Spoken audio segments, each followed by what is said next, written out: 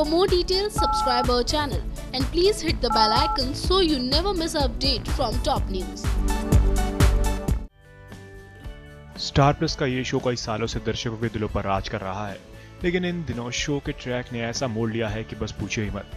जहाँ शो इतने दिनों से लो टीआरपी रेटिंग्स की चपेट में था तो अब एकदम से ही शो ने ऐसा ट्रैक पकड़ लिया है सीधा पहुँच गया है टॉप पर।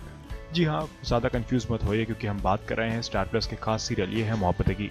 अगर बीते एपिसोड्स की बात करें तो शो ने एकदम से ही दस्तक दी है अपने नए ट्रैक के साथ, जहाँ अब शो की कहानी चल रही है लीप के बाद की, और अब रमन और शिता हो गए हैं एक दूसरे से अलग, साथ ही रमन को इशिता भी याद नहीं। लेकिन खबरें ये आ रही हैं कि रमन को जल्दी आने वाली है, एक बार फिर से सब कुछ याददाश्त वापस। और इशिता का प्यार भी हो सकता है कि उसको याद आ जाए। लेकिन अभी हाल फ़िलहाल की बात करें तो हुआ कुछ यूँ की भरी मीडिया में इशिता कर देती है रमन को ये चैलेंज इस बार तो वही लेकर जाएगी सीईओ ऑफ़ द ईयर का खिताब। तो अब बता दें कि जैसे कि शुरू हो गई है रमन इशिता की इस बात को लेकर जंग। तो इस बार कौन जीतेगा? तो वहीं रमन को सिम्मी नहीं जीतने देगी। अपनी चालाक किसी और वो जिता देगी इशिता को, जिस वजह से फिर रमन और इशिता में क्लैशेस आ जाएँगे और रमन इशिता से चिड़ने लग जाएगा और दोनों करीब आते आते फिर से एक बार दूसरे से हो जाएँगे दूर।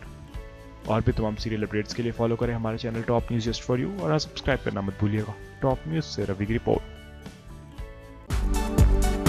For more details, subscribe our channel and please hit the bell icon so you never miss an update from top news.